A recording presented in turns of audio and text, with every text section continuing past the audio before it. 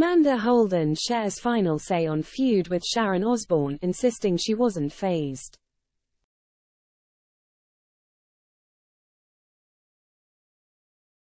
Amanda Holden opened up on her feud with Sharon Osbourne, sharing some unexpected praise for the tough cookie.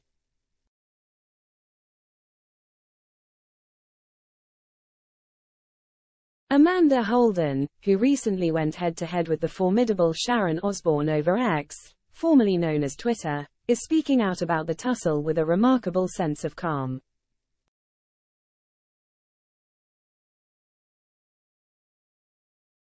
In an unexpected turn of events, the Britain's Got Talent judge even offered an olive branch to her former co-star.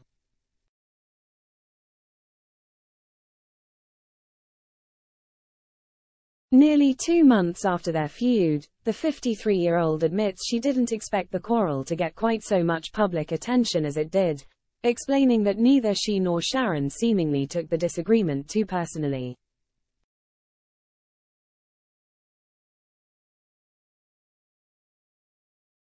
She told The Sun, I was just sticking up for a friend and I know Sharon would stick up for a friend too.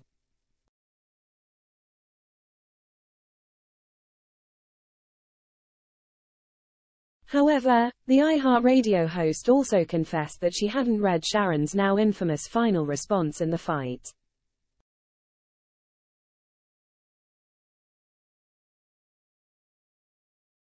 She explained that her husband, Chris Hughes, was meant to read the message aloud to her, but turned and said to me, The first line says, You're beautiful and successful. And I cut him off, and said, All right, stop there, stop there.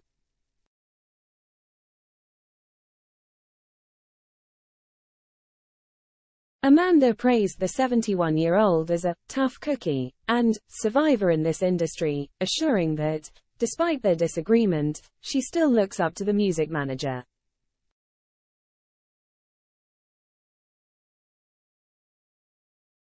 Offering an olive branch in the future, Amanda hopes to have a glass of Aperol with her one day, to laugh about it.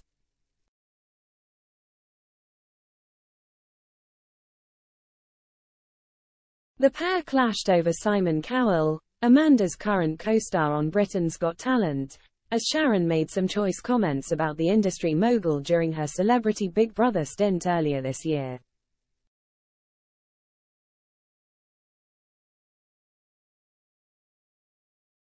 Amanda then hit out in the press, telling reporters how she saw her fellow judge dissed on the reality show and dubbed Sharon's behavior bitter and pathetic.